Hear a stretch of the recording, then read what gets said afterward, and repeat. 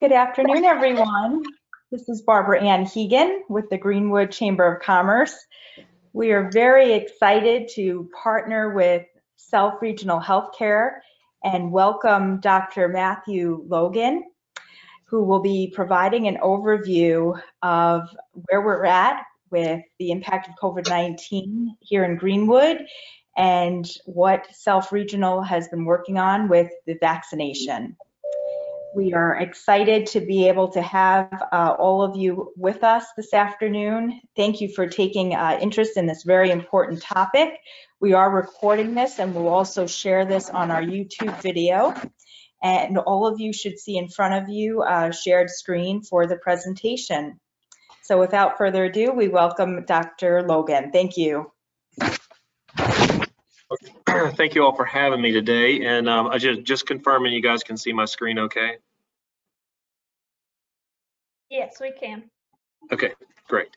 All right, so um, what I'm going to do today is just kind of walk you all through a little bit of um, a little bit of history with uh, COVID-19 at our hospital, taking you back to the kind of the very beginning, and then we'll kind of work through up to where we are today and some of the things we've done at the hospital uh, to try to keep the community as safe as we can during this kind of an unknown time. Um, this first slide here that I'm going to share with you all kind of takes us back to uh, some uh, predictive models that uh, really kind of came out of Europe when COVID first started uh, coming on the scene. If you guys recall, there was uh, a lot of unknowns early on in the COVID pandemics, particularly if you all recall um, news out of China that new hospitals were being built over the course of a week or two uh, to try to accommodate all these patients. And then we saw uh, waves of COVID infection kind of sweeping across Europe. And you all probably remember the uh, uh some of the dire news uh, that was coming out of Italy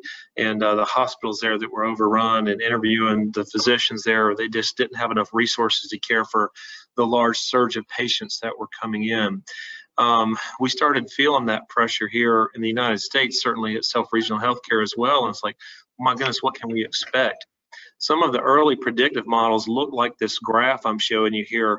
This red line at that at the bottom shows the uh, the ICU uh, current critical care beds uh, ICU capacity for the for the United States. Um, and then uh, on the uh, on the y-axis kind of shows you like what could happen based on different mitigation factors. And we were looking at like a best case scenario for Greenwood that we might have to try to figure out how can we accommodate 250 to 300 critical care ICU patients requiring ventilators all at the same time. That was a, uh, as you can imagine, a kind of a stressful time trying to sort through uh, through those thought processes.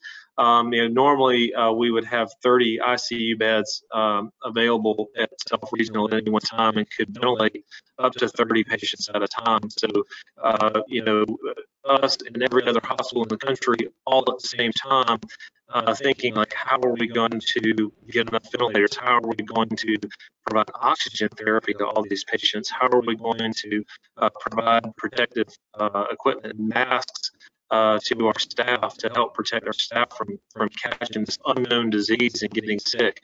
Um, that was really like the first month, month and a half of, of the pandemic and uh, preparation. Uh, in, in, case of worst case scenario happened, um, how were we going to deal with that? And a big thank you out to the community and certainly some of those on this call today uh, donating masks and things like that early on in the pandemic. That was uh, uh, certainly very much appreciated um, for the community. Again, a lot of unknowns early on.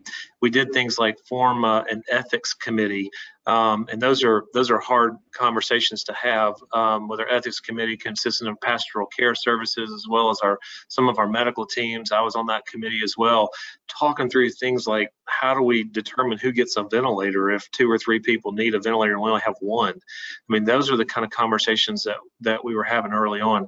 Thank God it did not get to to that point, and we have been able to keep up with it. But again, those that was the early first month and a half uh, of this uh, was kind of getting prepared uh, for a worst case scenario. Um, I think most on the call are aware that we did pause elective surgeries early on uh, for about a month. Again, that was uh, in an attempt to uh, conserve PPE or the personal protective equipment, the masks and the gowns and those things um, as well. Um, and so, so that was kind of early on. And then what actually happened, this next slide shows uh, basically uh, the state COVID count or new, new cases per day um, since the beginning really when it started back in March uh, up through, I mean, yeah, March last year up through March of this year and, uh, and kind of where we've been. That red line uh, is up there above this level. So we were able to keep up with, uh, with our ICU needs. Um, and one thing I'm really happy about here is to see that seven day moving average, that green line uh, trending down real nicely over the last several weeks. So, of course, we had the initial little surge about the summer and then um, a really significant surge um, in and around uh, after the holidays uh, when folks, of course, started gathering together more. Um, we kind of started seeing that here at the hospital as well. This next slide shows uh, specific to self-regional healthcare, what did we see by month? The number of uh, COVID uh, patients admitted to the hospital by a month starting on the left of March of uh, 2020 up until today. Um, in the last few months, I put a little trending data. Uh, November, December, and January, you can see like we had 7.6 admissions per day in January, and that came back down nicely in February. In uh, March is continuing the downward trend. Um, on the right slide is basically the number of deaths that we had for any one particular month, um, or by the by average by week. So November, December trended up. Um, in January was our worst month for a number of deaths um, during the whole pandemic, and then uh, February has come down, and March also continues the downward trend. Um, one question that I think always, always comes up and also is very important is how are we doing at Self Regional Healthcare in caring for this uh, potentially or this very sick population as compared to others? And um, if you look at our total admissions and our total deaths, our mortality rate is 15% and as compared to a state average of 18.7%. So I do think our medical teams here have done a phenomenal job uh, providing excellent care, as good a care as you can get in South Carolina to this very sick population. Um, and again, just in summary, uh, to date, we've had a total of 179 COVID-related deaths and um, almost 1,200 COVID admissions uh, with a 15% death rate we talked about. Um, some of the things we did to care for this population, we dedicated an entire floor of the hospital to COVID positive patients. Um, our sixth floor here at the hospital was dedicated for that purpose. We actually uh, that that floor filled up pretty quickly. Well, that'll hold you know around 30 patients, and so we had to expand that.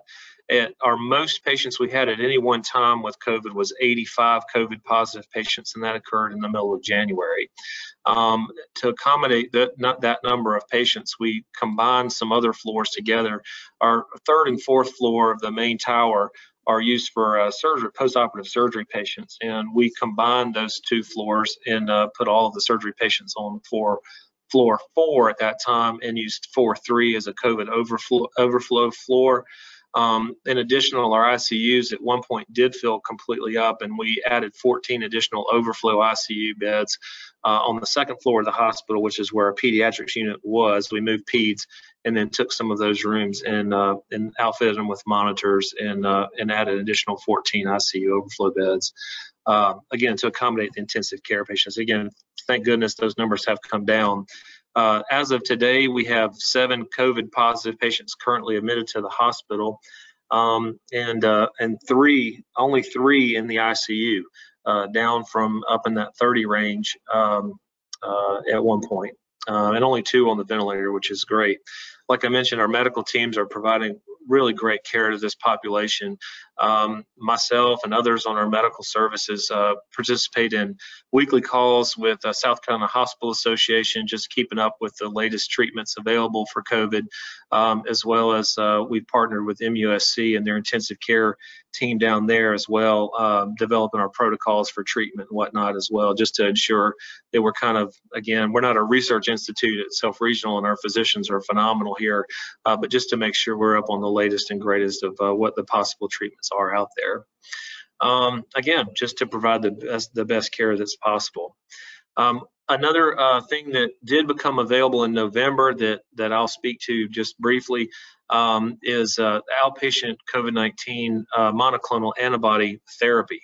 Um, this uh, became available in November, um, and uh, this, if you recall, uh, when President Trump contracted COVID. He got admitted up to the hospital and was given a monoclonal antibody therapy. He was actually given the Regeneron product. There are two products, Regeneron and then bamlanivimab uh, is the other one. That we we have bamlanivimab here, but they basically do the same thing. It's a it's an infusion of antibodies that attack COVID in, infection. You have to get give it early in the course of illness prior to getting so sick you have to be admitted to the hospital. And uh, what the studies found was that the rate of admission and the rate of death was significantly reduced by use of bamlanivimab therapy. There was a study in the New England Journal of Medicine that came out in November of, uh, of uh, 2020 uh, that really, uh, really showed this pretty pretty explicitly uh, the significant improvement in outcomes when uh, given monoclonal antibody therapy early in treatment. So we hopped on it. Uh, one of the things I love about our organization is how nimble we are. Um, we were able to convert an old pre-testing area into a, an infusion area with uh, five to six rooms. Uh, we're able to flex it a little bit, and uh, we were able to infuse up to 20 patients per day with bamlanivimab. Um, we have given since the start back in November a total of 759 infusions. Out of that population, we've had 36 admissions. Um, we would have expected that out of that, again, this high risk patient population that had 23 deaths, and we've actually had three deaths. Um, we can use these numbers to estimate that bamlanivimab therapy here at Self Regional, we've been able to prevent about 78 admissions and prevent about 20 deaths through the use of this product. So we're really excited to be able to offer that here. If you look at this, these graphs here, you'll see that Greenwood is truly a leader in the state uh, of South Carolina, and I'm really proud of Self Regional for jumping all over this. Um, if you look at Greenwood in comparison to Greenville, the number of infusions we've given versus some of the other uh, large, much larger hospital systems around the state. Uh, I, I, really think we've made a big difference for our community through the use of this. But just wanted to share that with the group. So we'll move on to the more fun stuff. Um, so uh, Benjamin Franklin said, "An ounce of prevention is worth a pound of cure." That's that is the truth. It's the truth. It's certainly in COVID, as well as in a lot of other areas. But um, so early on, this is basically, and up until just very recently, all we really had was wear a face mask when in public and around others, outside of your home, wash your hands often, and social distance, and avoid large gatherings, particularly indoors. Um, this still uh, is the recommendation. However, now that we are starting to get around the corner a little bit and have some vaccines available, um, I hope that we can get to some back to some sense of normalcy, um, you know, in the coming months.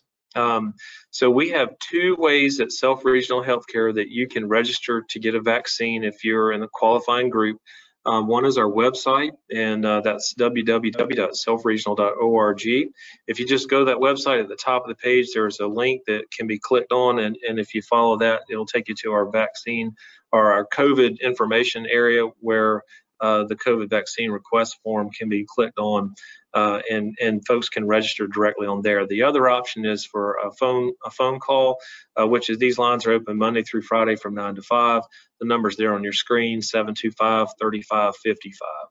Um, so now we've talked about that briefly. I'll kind of tell you about uh, the number of vaccines that we've given at Self Regional so far.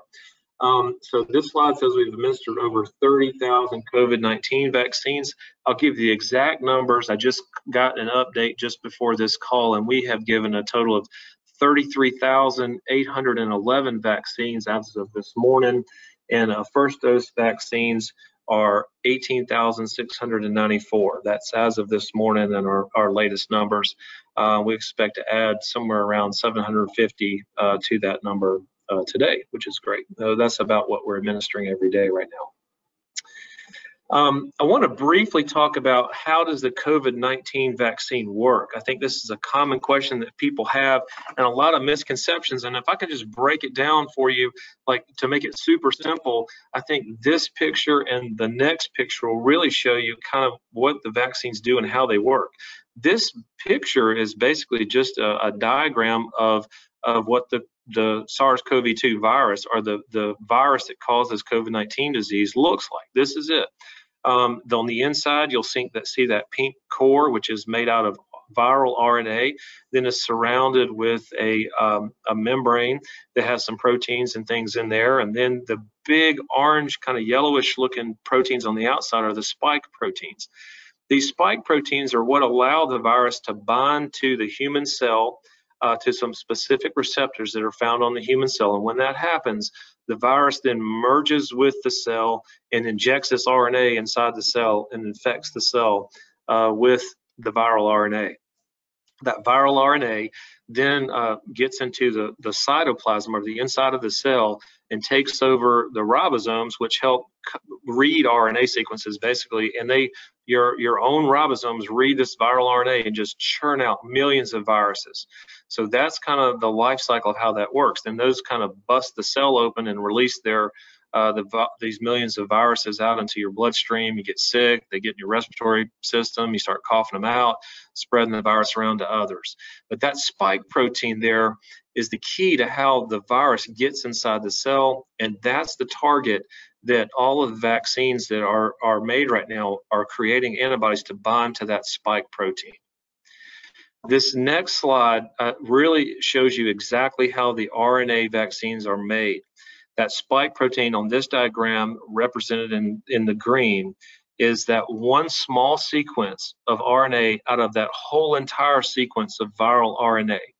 Um, and through some amazing technology, um, the scientists, we are able to, the creators of the vaccines, have been able to splice out only the part of RNA that codes for the spike protein only.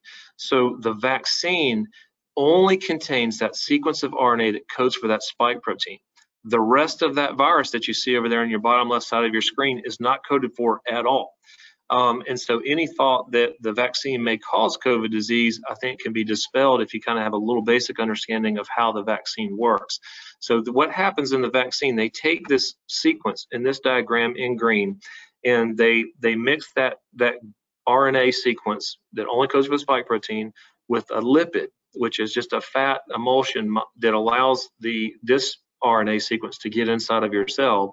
And what happens when you get injected with the vaccine, this uh, this viral this RNA sequence um, it gets in the cell, very similar to how the virus gets in, um, and then it recruits your ribosomes to code for the spike protein. The spike protein is then released out into your bloodstream, and then your body recognizes that as a foreign substance that should not be there and it creates antibodies against that spike protein, and that's what provides the protection from the vaccine. And you can get that protection from the vaccine without having to get the infection. Um, the other way you can get antibodies against the spike protein is to actually get the infection. Um, and that's what you want to try to avoid. So again, this is an amazing technology for uh, for vaccine development that uh, was uh, is we're really fortunate to live in a time where where something the technology is here and available to where you can splice a sequence of RNA out and only code for that specific protein that you want to. Um, it's not a live vaccine in any way. As you can see, it's only coding for this one little piece of the virus, the, the protein, um, and so it's uh, it's much safer than some of the other vaccines that are on the market today. This next slide I'm showing you is direct slide from the study um, that was uh, submitted to the FDA by Pfizer. Um, if again, this is a graph of the Pfizer vaccine results, uh, study results. If I were to put up here a graph of the Moderna vaccine study results, it would look almost exactly the same. What we have on the y-axis is cumulative incidence of COVID infection, and on the x-axis is days after first dose of vaccine. In the study, the way the study was designed, um, they injected a total of right around 44,000 uh, individuals with half getting placebo, half getting the true vaccine. And for those that got placebo, they followed the incidence along this blue path on the upper line, uh, showing that the incidence, cumulative incidence of COVID infection uh, had a steady increase over time since first injection. Um, and then the red line is the treatment group that actually got the vaccine. And you can see the significant change in incidence of COVID infection uh, amongst the treatment group versus the placebo group. This shows more than anything I can tell you just visually in one kind of graph like how well the vaccine works. You can see in the inset in the top left corner that there was a divergence somewhere around day 12 after the first vaccine where that really that first vaccine started kicking in. Um, what we know from the Pfizer and Moderna trials is that um, at two weeks after the second dose, they're about between, well, Moderna says 94 and Pfizer 95% effective at preventing symptomatic COVID infection. Um, and so, uh, again, it's very impressive when you consider like the annual flu vaccine has a uh, uh, prevention rate somewhere between 55 and 60 percent when you get a flu shot. It's not 100 percent, but it's pretty pretty darn good. Um, we'll go to the next slide. So, who is eligible for vaccine? Um, right now, as you all know, um, phase 1B just opened up uh, this Monday, uh, and that is for anyone who is 55 and older. Uh, now qualifies to uh, to get vaccinated, and also those who are, of course, younger than 65, excuse me, younger than 55, who have certain comorbid conditions. And I'll be honest with you, these these conditions um, are are really kind of a little loose. They say things like chronic lung disease. Well, what does that mean? That that does mean things like asthma. It means COPD. It means any kind of interstitial lung disease. Uh, anyone with diabetes, anyone who's overweight, anyone with heart disease, anyone with really a, a, whole host of medical problems would now qualify. There is a large group of people um, who uh, who do qualify under these new guidelines. In addition to to just individuals in general, uh, frontline workers with increased occupational risk. So that's basically um, uh, folks who work around other people, uh, which is just about anyone who has a job in a, in a setting where you're around other people, which is most most folks. Some people work alone, I guess, in an office setting, but um, the majority of folks who have jobs actually do qualify at this point. Um, and then uh, where you again work around people or around other people a lot. Um, I do see migrant farm workers uh, as well are on this list. Um, and of course, everyone who's already in phase 1A, uh, which is uh, is basically anyone who's 65 and older and all healthcare workers. So basically, at this point, it's opened up to a lot of people. Uh, the next phase, per DHEC, uh, they estimate around April 12th that they will go ahead and open it to everyone who's healthy and 45 and above, um, and any other essential workers that kind of haven't had an opportunity to get it yet. And then uh, May 3rd, uh, again, DHEC is estimating May 3rd, they will open it up to basically anyone that wants it. The reason that they uh, they went with age 16 and above is uh, specifically because the uh, the study, uh, the Pfizer vaccine study anyway, was uh, was only done in those who were 16 years and older, um, and so the FDA hasn't approved it for anyone less than 16 years old.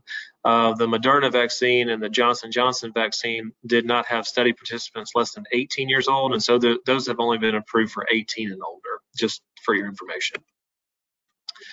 Um, I'll go through a few common uh, common questions that I've received over the last uh, you know month or two uh, since I've we've kind of been uh, opening up the vaccine some, and then um, we can talk a little bit more about it. But these are some common questions that I get. Um, so, what side effects should I expect after being vaccinated? Um, the most common side effect would be like a, a sore arm or sore shoulder. Um, that typically lasts uh, about two days um, and then just typically goes away. It's easily treated with Tylenol or Motrin. Other people do develop some uh, some body aches, some uh, low grade fever happens on occasion, um, and uh, and joint aches. I had a, a, little bit of joint aches to my fingers on my my second day after I received my second dose of vaccine. That's really about it uh, for most people. There will be an occasional person that may run a little higher higher fever for a couple of days, um, but the incidence of that's pretty low, uh, but it does occasionally happen. Um, but most people do great with it and don't really have any major side effects. Other question is, can the COVID-19 vaccine infect me with COVID? I kind of addressed that a few minutes ago, but no, it can't. It's impossible for it to give you COVID infection. That RNA sequence only codes for the spike protein on the outside of the uh, virus. It's not code for the whole virus itself. can the COVID-19 vaccine make me test positive for COVID? The COVID-19 vaccine cannot make you test positive for COVID via a nasal swab. So if you have a nasal swab that is positive, then you have COVID-19, even though you've been vaccinated. Again, it's, it's an unusual event, particularly two weeks after the second dose, but it does occasionally happen. Um, and uh, the advantage of the vaccine, even if it may not prevent 100%, of the of COVID infections, those that do get infected typically have a much more very mild case of uh, of of infection than if you had not been vaccinated. So that's uh, another definite positive for, for getting the vaccine. But again, 95% of the time it prevents symptomatic COVID infection. Other question, um, I have already had COVID. Can I still get the vaccine and should I get the vaccine? And uh, that the answer to that is uh, yes, you should still get the vaccine. The uh, the studies uh, of Moderna, Pfizer, and Johnson Johnson have shown that those that receive the vaccine actually have a much more robust immune response than if you don't uh, than if you have actually natural COVID infection. So uh, and also the antibody response seems to last longer after the vaccine than if you have COVID infection. So definitely it would be a good idea to go ahead and get vaccinated even if you have contracted uh, or previously had COVID infection. And then when can you get it uh, after infection? When once you finish your quarantine period, uh, typically 10 days after symptom onset and having no symptoms for 24 hours, you're then eligible to uh, to to go to get the vaccine. Um, one thing I will mention is that um, even though you're eligible, we do know that after a COVID infection, that almost everyone, it's like there's been like just a couple of cases in the country that folks have become reinfected with COVID within three months after having COVID. So if you wanted to put off for a little while till at least uh, three months after contracting natural COVID infection before becoming vaccinated, that would be fine um, because the risk of being reinfected within that first three months would be low. We do know that the uh, the antibodies from COVID infection do start to wane between three and six months, and uh, and the risk of being reinfected would would start going back up. So um, I would recommend um, if you want to go ahead and get it, that's fine. But if you want to wait three months, that's also okay. Um, other question: Can the COVID-19 vaccine alter my DNA? Um, if again, just knowing a little bit about the biology of this now, after looking at those slides we looked at a few minutes ago, um, the virus itself contains a much longer and much more genes uh, that's entering your cell than the vaccine does. The vaccine only codes for that S piece. That whole COVID RNA codes for all those other genes that go in there as well that code for the rest of the virus. Um, and so, uh, so essentially, if I had my choice of getting like that one little tiny piece of the sRNA or versus getting all of that inside of my cells, I would take that little tiny S protein piece. Um, but the again, another thing about RNA vaccines, which is is really pretty cool, the the DNA of our cells is stored inside of the nucleus of the cell.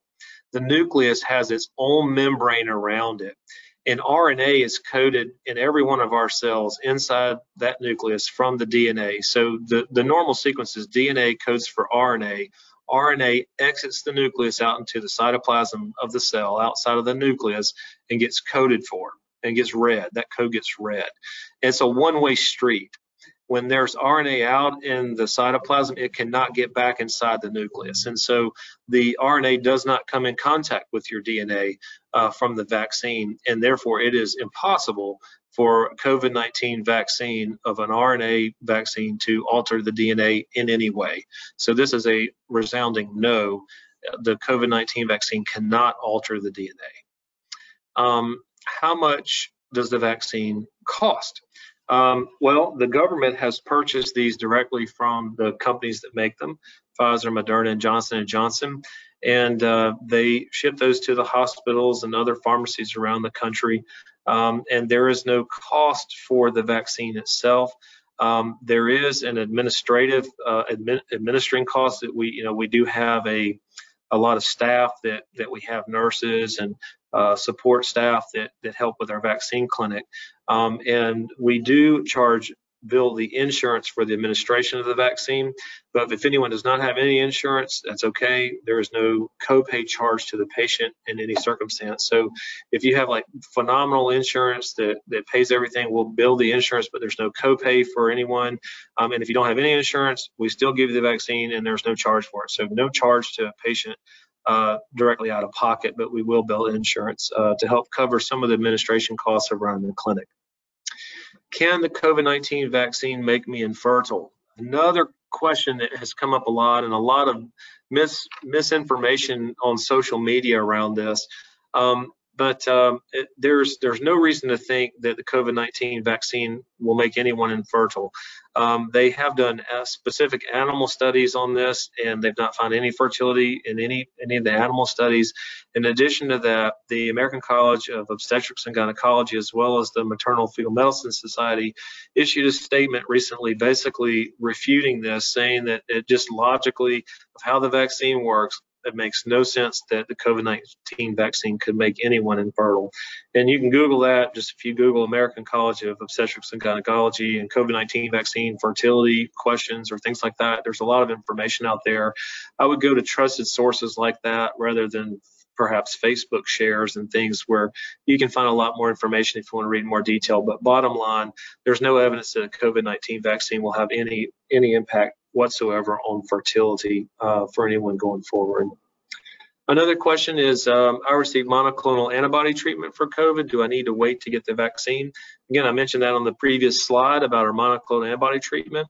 And uh, th there is a delay that is recommended in that situation. The recommendation is to wait three months after receiving monoclonal antibody treatment before you receive the vaccine.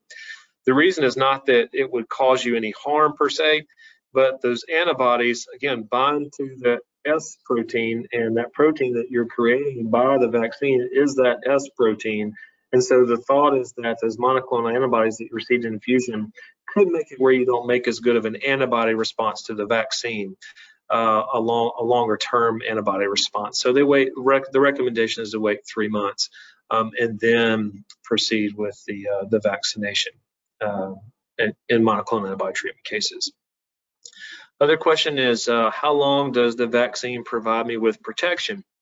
This is a very good question. Um, I was fortunate to be able to participate in a call um, through the South Carolina Hospital Association with Tim Mullinex.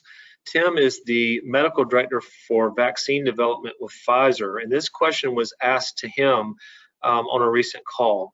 And his answer to this question was that while we don't know 100% sure, we anticipate that it will be last the protection will last at least a year, possibly two years.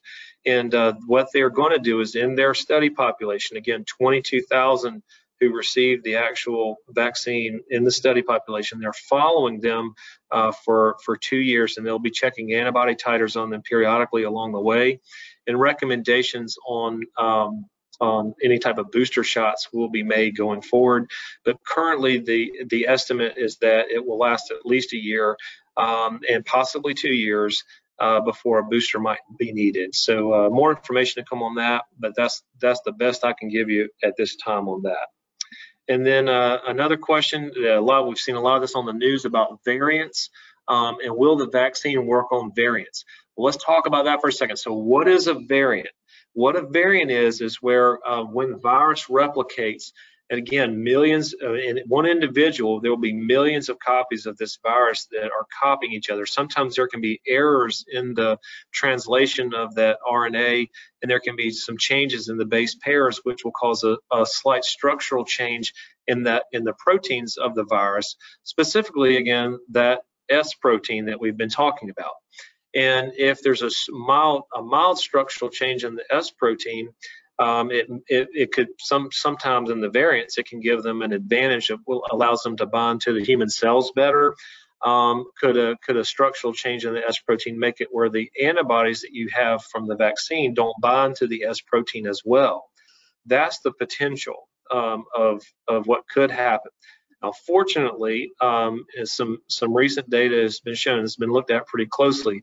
Of the Pfizer vaccine, Moderna vaccine, both seem to work pretty well on the variants. Maybe some slight efficacy drop as compared uh, to the original strand of COVID, but they both seem to work really well um, on the any variants that are known right now. The Johnson & Johnson vaccine also works pretty well on the majority of variants, but the uh, the South African variant maybe not quite as good uh, as on some of the others. But so uh, still some more to come on that. But right now, we do think that the vaccines do a pretty good job at uh, protecting uh, protecting against the known variants as well. Um, so I'll go to my next slide real quick, and then we'll open it up for some questions. Um, so getting back to normal and is the worst behind us?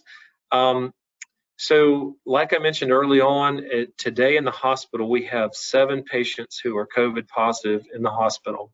Um, back on October the 1st, from reviewing some of our internal data, we had seven COVID positive patients in the hospital. And we all know kind of what happened from looking at our previous slides, what happened over the holiday season um, and uh, the big spike that we had kind of after Christmas and January. But this is different this time, I truly believe, because we now have had the opportunity to vaccinate so many people. As I mentioned before, we've administered over 33,000 vaccines at this point. And so those people will have a level of protection that certainly was not there before. also, a large portion of the population has had COVID. Um, again, they may have had a, a, low symptom case, may not have been tested. Um, what we do know is that the, the estimates are somewhere between five and 10 times as many people actually had at least a mild case of COVID and didn't know it as compared to those that actually tested positive if that's the case, hopefully we'll be getting herd immunity quicker than we originally thought. Um, but we still uh, we still got to get the vaccines uh, in more people uh, to really get to that herd immunity. But I do think the worst is behind us. Uh, we'll know as a little more time passes, but I'm very hopeful that that we're on the other side of the worst of this. Um, you all, you all may have seen that there was some recent update in the CDC guidance for people who have received the vaccine.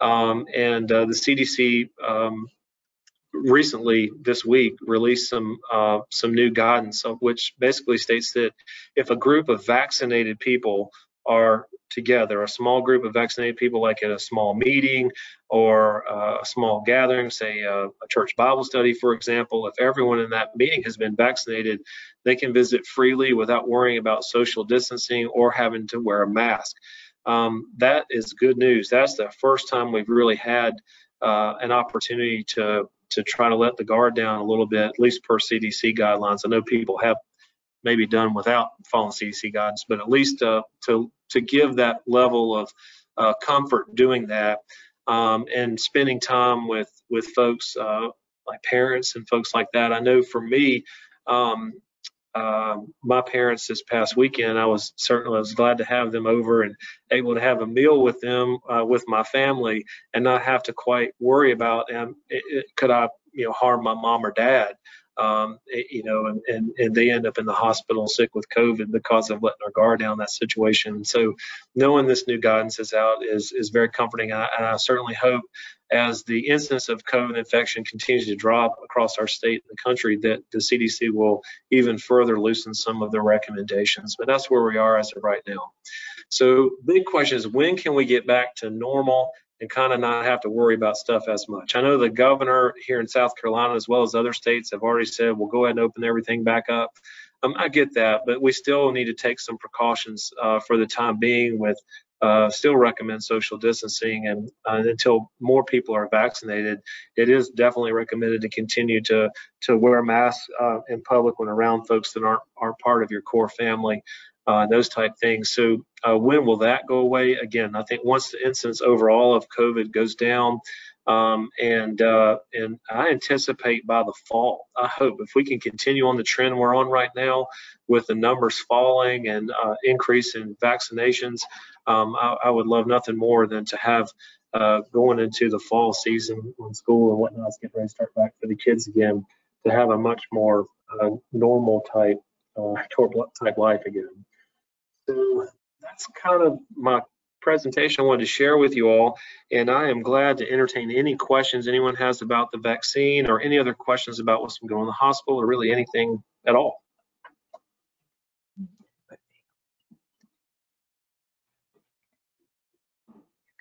Thank you, Dr. Logan, for your excellent presentation.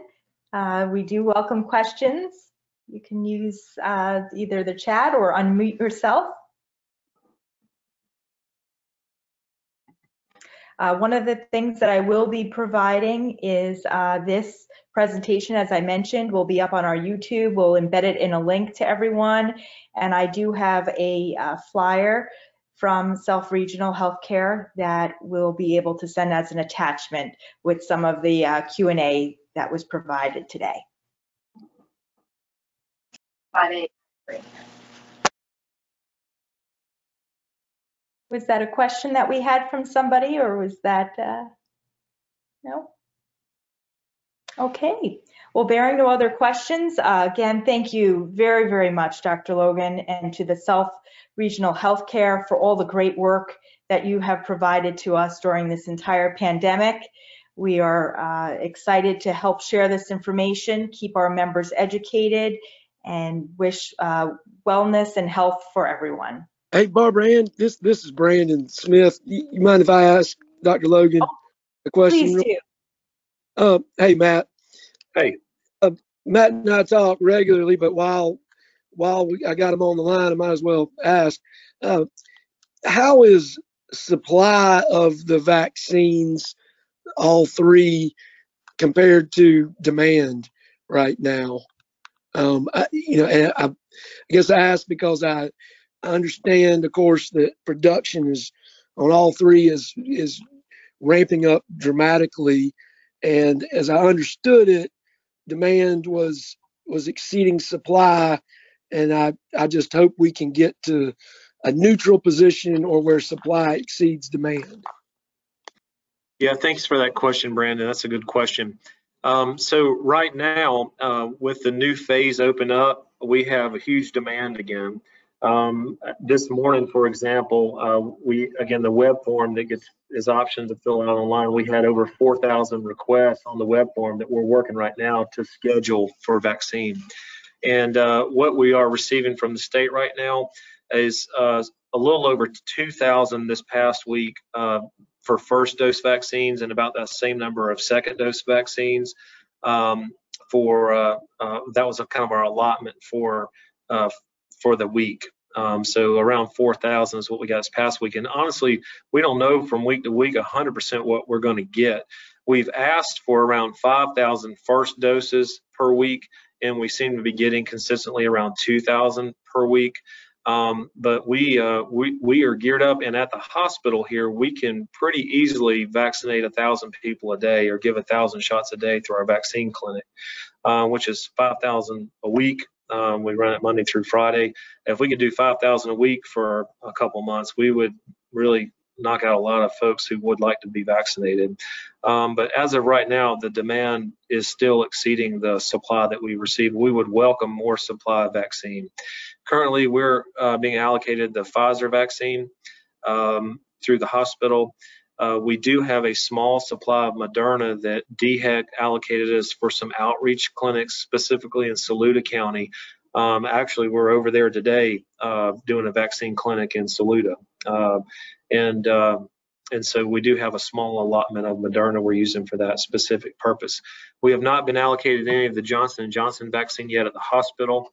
Um, we were told last week that the state was receiving around 41,000 doses of the Johnson Johnson vaccine uh, that is being um, uh, kind of shipped to individual retail pharmacies, um, and and we don't have any of those through the hospital. And so there may be some some pharmacies in Greenwood that have it. I'm not aware if they are, but it's possible there could be some pharmacies in Greenwood that have Johnson Johnson vaccine. But here at the hospital, it's still we're still being allocated Pfizer vaccine. Dr. Logan, I have another question that came through our chat. Are the numbers 33K shared earlier, including the vaccines given locally by CVS and Walgreens? No, those are only our numbers. Those are Self Regional Healthcare administered vaccines. Thank you so much. Sure. Okay, bearing there's no other questions, I believe that concludes our program for this afternoon. Again, a sincere thank you to all our participants and to Dr. Logan and Self Regional Healthcare. Have a wonderful afternoon, everyone. Thank Stay you. well.